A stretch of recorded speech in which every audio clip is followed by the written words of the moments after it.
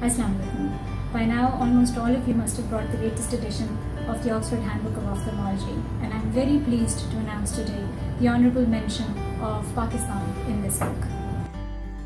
So, for the first time, the text of this book is being supported by an online image archive, which can be accessed using the token provided in each personal copy. So, after creating your account, go to Oxford Medicine website, log in with your particulars,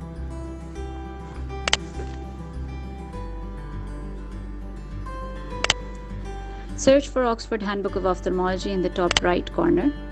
Click on Books.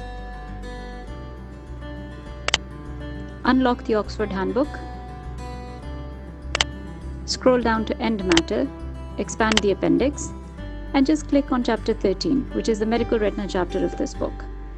This will open the whole image bank for retinal diseases, and you'll find that many, if not most, of these images are credited to Amanat Eye Hospital, Pakistan.